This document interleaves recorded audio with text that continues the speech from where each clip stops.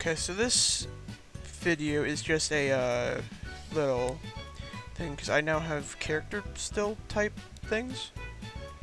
So I'm gonna be trying to use those in videos later on, but this is just to see how it works in iMovie because I don't know how to edit, so we're gonna go with that. Yay!